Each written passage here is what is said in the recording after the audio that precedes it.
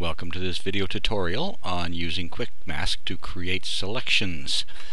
Um, okay, so I've got this picture of a rose of Sharon. They grow wild around my place. I can't believe how many I have. Um, so I run out and take pictures of them all the time, especially after it rains. Okay, so Quick Mask. What is Quick Mask? Well, here's Quick Mask. This is CS, Photoshop CS. It's the same in CS2. CS3 is just one button. You just tap it off and on. This is your Quick Mask palette right here tap there, double tap, and it gives you the quick mask options. You can have it for the masked area or the selected area, or you can change the color. I'm just going to stay with the default color because that's uh, it, it, works fine. Up here we have the brush. I've got the brush chosen, uh, so we'll move that out of the way.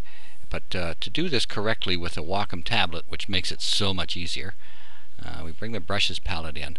Make sure that shape dynamics is set for pen pressure. That's size, okay? Uh, you can see down here, gets small to light to, to thick to light or to thin uh, as you press harder and lighter. Okay, so we're all ready to go.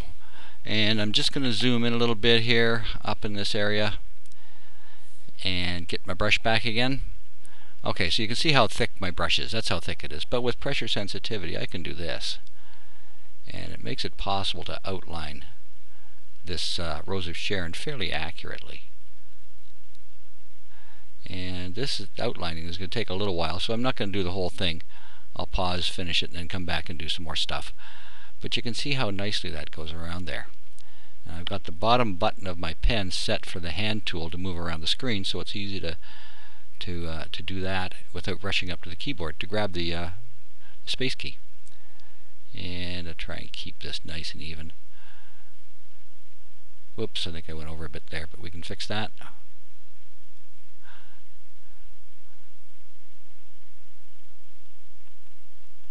There. So you can see how the uh, having the tablet with pressure sensitivity built into it is so useful when you're coming to something like this. Something you want to be very exact. You can use this with the uh, pressure sensitivity. You can use it with a, a selection tool uh, for that matter as well. So I'm just going to finish this off, the outline, then I'll, I'll jump back in and we'll do a couple more things with it. Okay, you can see I've finished the outline and I made an error up here, and but I'm just going to fill in the rest of it, then we'll take care of the error. So now, because I can, uh, I've got the outline there, I can press harder, and get the full thickness of the brush, uh, because we're set for pressure, and we come around and fill this all in. And whoops, I need another error. Oh, good. Two things to show how to fix an error. Okay, so uh, there, everything's finished inside, but I got these two little blobs here that I got to fix. So let's kind of zoom in on them and fix them up. Back to the brush. Now, with the default colors, with this black you get the red. If I hit the X key, white comes to the front, and that is erasing. So I can erase this, my little error there. And again, I'm using pressure sensitivity to, to be very exact on the edges and around here as well. There we go, got rid of that. So that's what you do when you're when you're messing around with the default colors. Okay, let's uh, let's zoom out a bit here and see how she looks. Okay, there's our Rose of Sharon, um, all selected uh, or all painted. Oop, there's some place down here I want to get. So I suppose I should change my default colors around, right?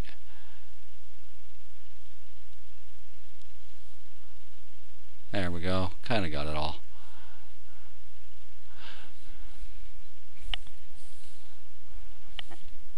and out we come. There's still a few things that I could fix up, but that's okay for, for the purposes. Now, we want to see how our selection looks. So we go to, here's our quick mask, which is pressed. We go here, and it turns it into a selection.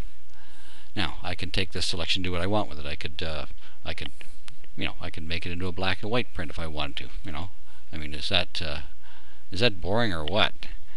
Uh, so let's get away from there. There, back to that. Now the thing we can do uh, here is, is to jump it to a new layer, the selection. So Control or Command J puts that on a new layer. I'm going to turn off the background and that's our selection right there.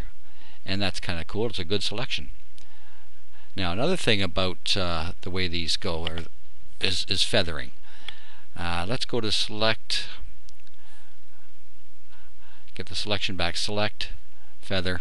I've got a feather of 2 pixels. If I put in a feather of 10 pixels, for instance, and say OK, now jump that to a new layer, Command or Control J, and turn off the background, you can see how it's feathered it.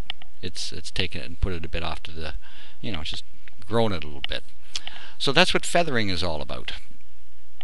And that's what quick mask is all about. And uh, try this out. It's really a really neat technique for selecting.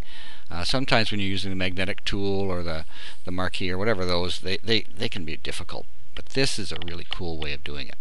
So I hope you've enjoyed this and uh, give it a try. You'll like it. It's fun to do, um, especially with a Wacom tablet, which everybody should have, incidentally. Thanks for watching, and we'll see you next time. Bye.